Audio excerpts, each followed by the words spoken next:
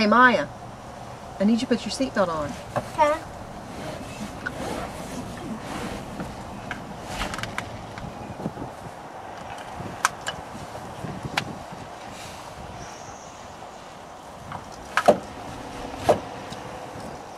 Maya, you can't wear your seatbelt behind your back. Oh, come, it hurts. Well, Maya, it's against the law and it doesn't do you any good back there.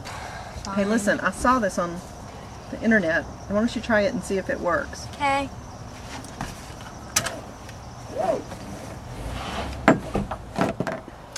Wow, now that looks right. How does that feel? Great. Thank you, Mama. Let me see you move. And it stays right on your shoulder, so it feels good? Yes, ma'am. Where'd you get it?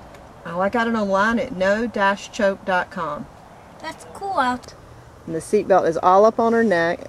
And this is the way she used to uh, take care of that with a clothespin.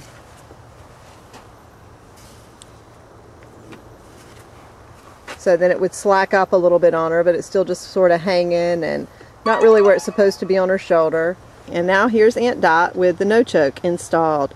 Aunt Dot, can you move around a little bit and show us how it follows you and goes back? And then it stays right there on her shoulder and away from her neck so she can be comfortable.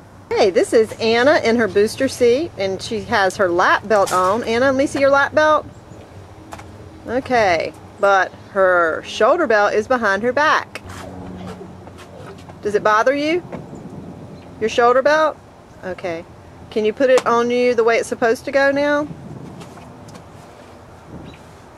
Oh, wow, that's like choking you almost, huh? Okay, now let's try it with the no choke. Uh, she has her no choke on. Anna, can you move a little bit forward and let everybody see it?